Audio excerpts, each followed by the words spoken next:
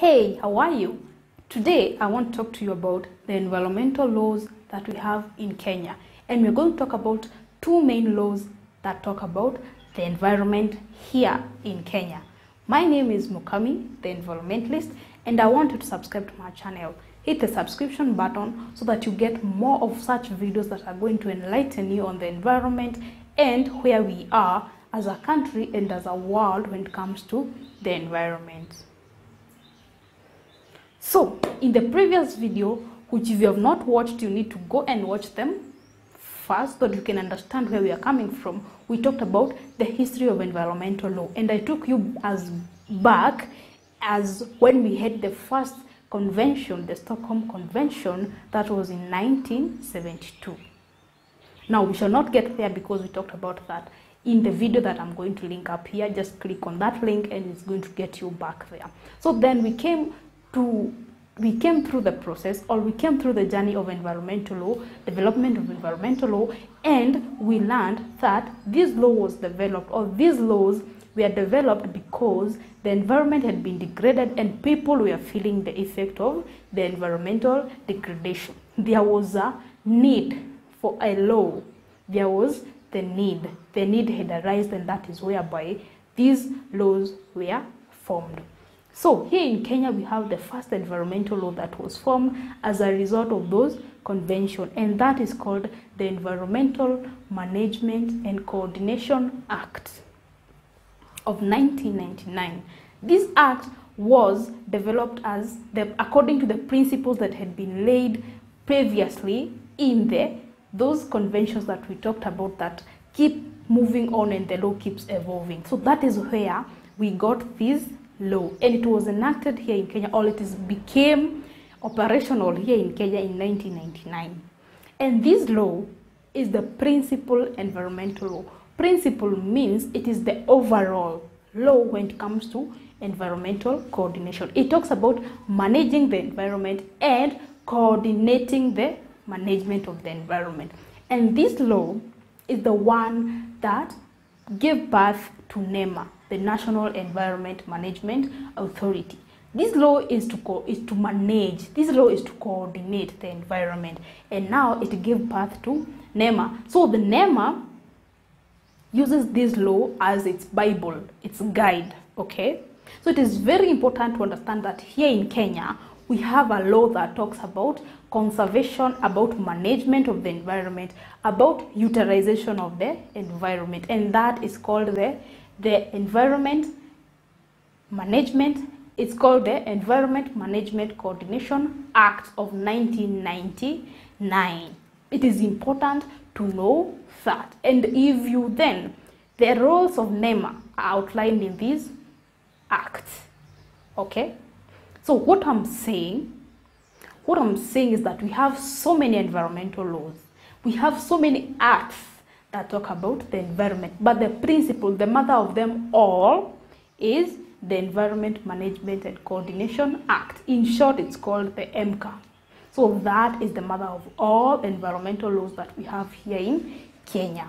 And like I said, it gave birth to NEMA. So now you understand where NEMA came from. NEMA, the National Environment Management Authority that we have here in the country. So then, it is in this law that give birth. Now, this law talks about specific sectors of environment, how specific resources are supposed to be handled here in Kenya. For example, water. This act talks about managing water. Remember, this act is on management and coordination of the environment. So it talks about managing water, and under that, the, it gave birth to a regulation now that is very specific to water, that is called the water regulation. Hope I'm making this look very simple. We have a law that is called EMCA. From this law, then it talks about conservation of water.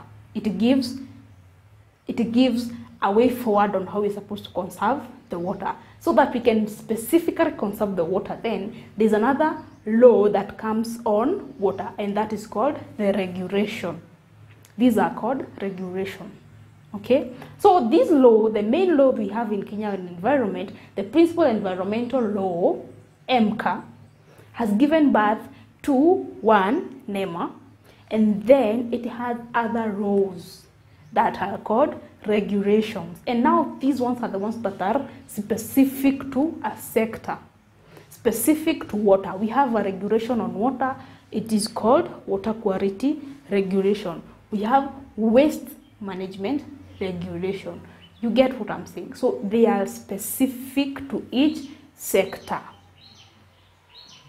That is the main law when it comes to the environment. It is the principal law, meaning it is the highest when it comes to the environmental laws. So any other law that is there is managed or borrows from this EMCA. But this is not the only law in Kenya that we have that talks about the environment. Then we have a supreme law Supreme means it is the mother of all laws that we have in Kenya. Guess what that is? That is the Constitution of Kenya 2010. So the Constitution of Kenya is the overall law in Kenya. It is the overall, the supreme law. And the Constitution talks about the environment. One, it provides you with the right to a clean and healthy environment and then it comes with obligations what is the government supposed to do and what are you as an individual supposed to do when it comes to the environment? And if you do not do that environmental offenses what happens? So the constitution is the supreme law. Supreme is the highest law in this land. And it talks about the environment. Also now the second after the constitution is the EMCA the environmental management and coordination Acts. So these are the two main environmental laws, the supreme law and the principal law. Is this as simple? Do you understand what I'm saying? So if you like this video, of you, you now understand how the environment is run and coordinated by the government, give this video a thumbs up. Now, if you want me to do a video specifically probably on a specific sector that you want me to talk about, then let me know down in the comment section because in the next video we shall be talking about specifically what does the constitution say when it comes to the environment. So till the next video, remember to subscribe to my channel. Hit on the, that, that, hit on that subscription button and then I will see you in the next video.